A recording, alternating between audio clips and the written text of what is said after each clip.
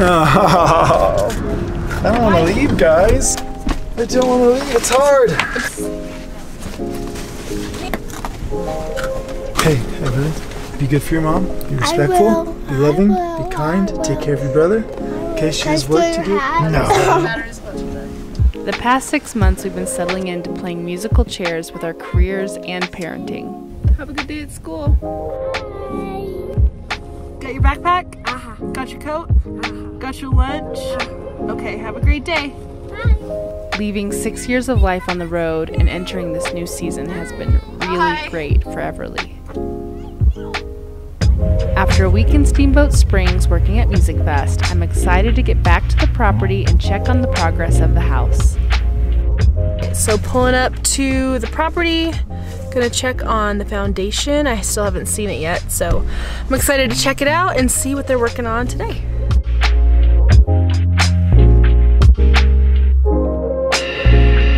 They are waterproofing the foundation, so they're putting like a black tar all around the foundation to seal it.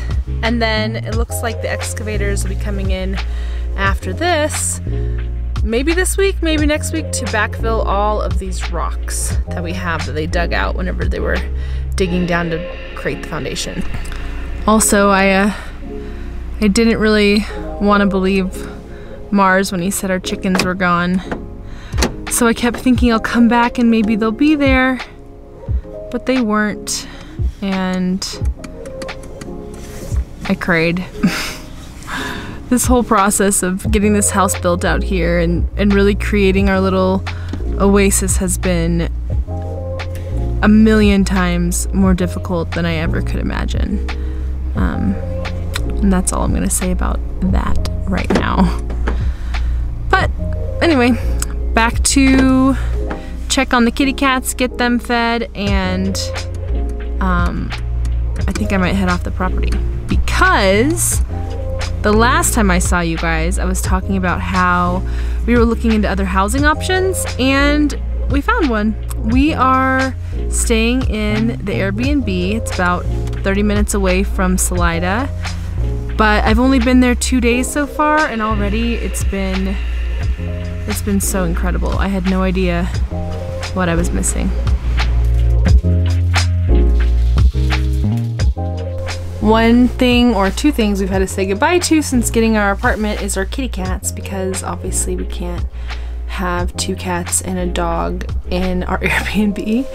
So they are now our camper cats. So we've made them a nice little cozy place in our camper and they come in here at night when they want to get cozy and then go out during the day. Um, so I just make sure they have plenty of food and water, but really sucks that we can't have them with us. But they were always meant to be kind of like barn cats to get all the mice and stuff that are out here on the property. But you know, we've grown very attached and now they're like they're like family. So anyway, but it seems like they're doing okay out here. So far so good. As for huge wins this week, this condo is definitely one of those. There are seasons of life where you have growth through pain. This is one of those. I didn't know seasons lasted years and then got increasingly complicated toward the end, but in like a lamb, out like a lion seems to be the case. So, let's talk about the things I've discovered. I know the most important things in life are the relationships you have, the relationships with others, and also with yourself. I've learned that we as humans don't practice near enough gratitude. Simple things like running water and heat are taken for granted.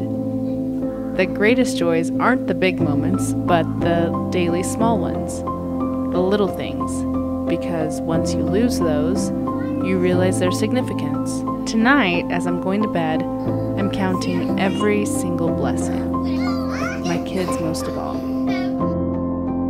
The dishes in the dishwasher, a load of laundry, glass of wine, and a space to breathe and let myself release. So we're back here on the property, ending out the week.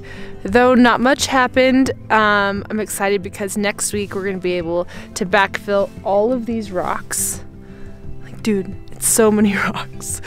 This all came out from the ground where they're building our house. So you can definitely tell we live in the Rockies. You can't dig a foot without hitting like a giant rock. Anyway, Mars is coming home from Denver for this next week. I can't wait. It's been so nice being in the condo, but it's gonna be even better to be in the condo as a whole family. One thing I've learned now from being on the road for six years is like, I will never, ever, ever take the simple things for granted ever again. Baby. Oh, now you're. I'll do my bike. You gonna take your bike? Yeah. Go. Okay. I need you to be brave. I need you to be scared. I need you to be a little cray cray. My oh. little baby, don't be scared. My little little baby. My little baby, don't be scared or cry if I leave you behind.